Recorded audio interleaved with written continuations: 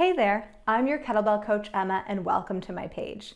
Today I'm going to share with you three different kettlebell cleans and how you might want to use them. But before we get going, make sure to like this video and subscribe to my page for all future updates. So today we're going to cover the single arm dead clean, the single arm hang clean, and the single arm swing clean.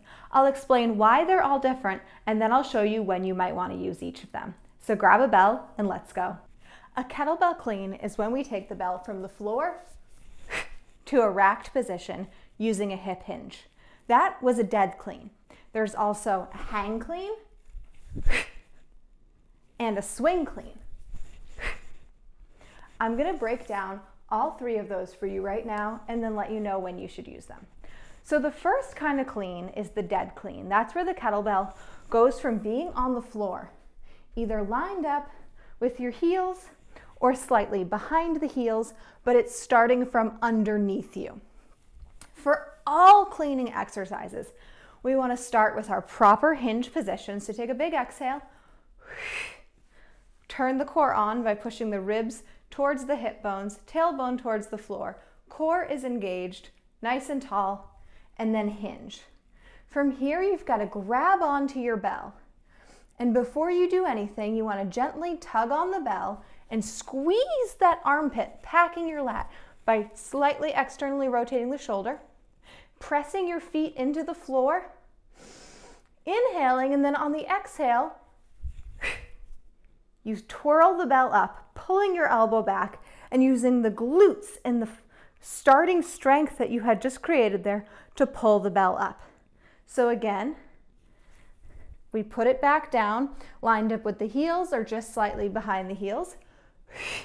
Core is on, hips go back, grab onto that bell, pull on it as you press into the floor, sealing up the armpit to pack your lat.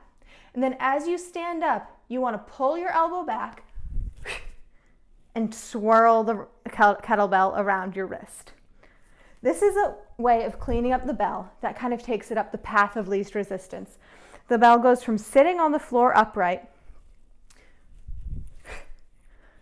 to almost the same upright position in my arm. In the rack, I have a nice straight wrist. My elbows are pointing downward. My shoulder is down. I'm maintaining that lat pack and staying upright. I'm not curling over with the bell. I'm not hyperextending the lower back. I'm nice and upright. And make sure you're not uh, flaring your elbow out, letting your wrist fall back, or using your shoulder to push the bell away from your body.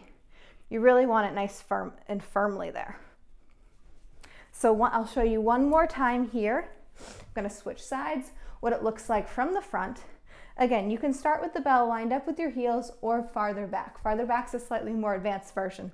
So I'm gonna, just gonna line it up with my heels here. Pull on the bell, seal my armpit closed and pull the lat, pull the shoulder back, packing the lat. Push into the floor. Really feel the back side of the body. Wake up here. Hips are going back. And it just flies on up. As your hips come forward, the bell rises. So we tend to use a dead clean as a way of just cleaning the bell to go into anything where you need the kettlebell racked. It's a great way of getting the bell up to do a front squat, a chest press, a overhead press, a windmill, basically anytime we want to end up with that bell racked. You wouldn't necessarily do consecutive dead cleans as part of your workout unless the point was to focus on that technique and the starting strength. You can use it, but if you wanted to program cleans, cleans into a workout continuously, like and go into another one, you'd probably go down into a hang clean or a swing clean if you wanted to get that cardio effect from cleaning. So it's really, I would say, the most practical and efficient way of getting a weight up to then press, squat, something like that. If you want the kettlebell in a racked position or even just to hold it, dead clean it. You can also dead clean two bells. That's a little more challenging. Sometimes it's a little easier if you have two bells to swing clean them, but we'll get into that more in a second. So from the dead clean, let's talk about the hang clean. Hang cleaning is when the kettlebell starts in a hanging position. And you have to use your ankles as well here because you don't have as much starting strength. So you hang the bell, you shoot your hips back, you pack the lat on this side, inhale, and when you exhale, you need a little more momentum so you can get some triple extension on your ankles, knees, and hips by straightening out the ankles, pressing through the toes, lifting the heels in, a, in an explosive manner. So here again, I'll do a few, starting in the rack.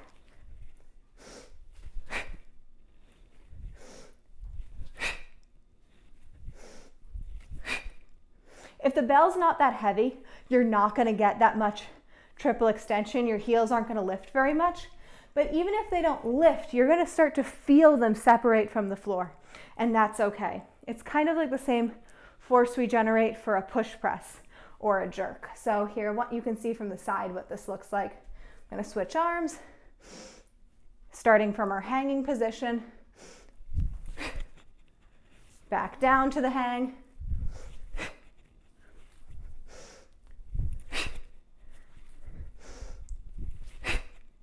So when you might want to use a hang clean, a few different situations. One, say you're doing something with a light bell like you wanted to warm up for your workout with some windmills. Um, I'm holding just an eight kilogram here. Hang clean it up, then it goes up in the air. It's a really quick way of flipping the bell up onto your wrist. As a coach who's constantly demoing, I hang clean a lot. So you can always hang clean if the weight is really light and you don't need to reach as far down. You don't need as much starting strength. But then if you want to do continuous cleans, for a cardio workout, you can do a hang clean. It's also a great exercise to do to prepare you for other explosive work. So I like doing hang cleans as movement prep on a push press day or on a day when we're gonna do jump squats. It's just good for preparing the body for triple extension, which is when ankles, knees, and hips are all in extension. That's what triple extension means. It doesn't actually mean the arms in this case. So anything, if we wanted to jump, right? It practices that triple extension. If you wanted to push press, push pressing like this, right? It starts to prep the body for that. And yeah, that's pretty much when you might want to use the hang clean. If you're using a really heavy weight, hang cleaning is going to become a really big challenge because you don't have as much starting strength. When I say starting strength, I want you to think of if you had a bow and arrow. The farther you pull the bow back, the farther the arrow goes. So if my hips are the bow and the kettlebell is the arrow. In the dead clean, I have a lot of hip hinge here. The bell flies up. My legs do all that work. If I start from a hang clean position, my hips can't do as much work. They're not reaching as far back as they were down here. Now they're not as loaded. And now something else needs to come into play. My arm's gonna have to work harder, but so are my ankles to get that bell up. So less starting strength, therefore the heavier you go, the harder that's going to be. So the final clean is the swing clean. Now that's the one that people are often most familiar with. You start it like you would a single arm swing, but instead of projecting the bell, you clean the bell. So here's what it looks like.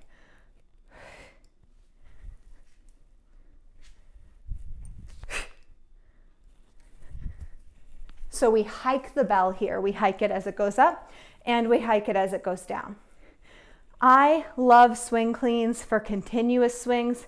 If you want to do heavy continuous swings while getting the cardio benefits, a swing clean gets you that big hip hinge at the bottom, a lot of starting strength between reps to go up and clean the bell. It's also a great way if you have double bells to get, again, the most starting strength you can out of a double, out of um, your clean. And I'm gonna show a few here. We start the same way we do for that single arm swing. So square off your shoulders, pull the arm bone into the socket, pack that lat. Put your arm in your, your hand in your armpit. Try to squeeze the arm. You'll feel your lats, those muscles right here, start to fire. Inhale, hike, exhale up. And when I hike, and pull the bell up, I mimic it with my non-working hand. So here we'll go again. Square everything off, pull on the bell, press in the floor, feel the backside of the body wake up, hike, and clean. And the non-working arm mimics this. Another reason I like the swing clean, if you were at a heavy weight or double bells, is with a swing clean, you can take more of a sumo stance, a wider stance, and it leaves more room for heavy weight. Whereas when you do a dead clean, we tend to have the feet a little narrower. There's just not as much room, and sometimes the bells will collide with your knees. Of course, you could go wider in that starting position for a dead clean, but you can try it with me. It's a little weird to have your feet pointing out as you're reaching behind you like that. It's a lot more natural if you're reaching forward. So those heavy, bigger bells, swing clean is gonna be your friend. The thing you wanna be extra careful with with the swing clean is that you don't end up doing that, smacking your wrist. It's most likely to happen in the swing clean. So what you've got to do when you do your swing clean, I'm going to mime it here with no weight. You hike, and as you stand up, that arm stays connected as possible to your body. Just like with the dead clean where your arm went like this, now we've got to get to the body first before we stand up and clean up the bell. And for some reason that can be a little more challenging. And sometimes we stand up before the arm has gotten close to us and we end up with that thump. So here what we want to do, keep that arm as close to the body as possible and you can think of pulling the elbow really far back behind your body as you stand up. In practice, it might not actually get that far back, but you want to go for it. And again, these swing cleans are great for doing continuous reps. So that can look like this.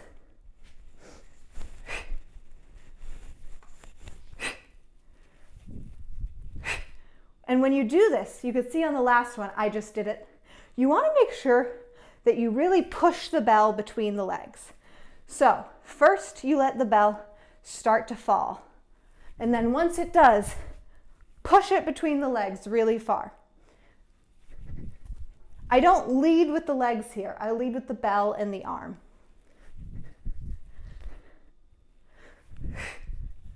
What you don't want to do is throw it away from you like that. You really want to let the bells fall and then push them between the legs before you come back up. On swings and cleans, your legs lead as the bell's coming up, the hips lead. But then you want to get some air time, whether it's at the top of the swing or holding in the rack, before you let the arms go and you chase the bells as you push them between your legs. Or you let the bell come down and you chase it as it flies between the legs. So either way, you wanna make sure that you let that bell lead coming down and you don't throw it away from you. And with all the cleans, we let the bell come down the front of the body.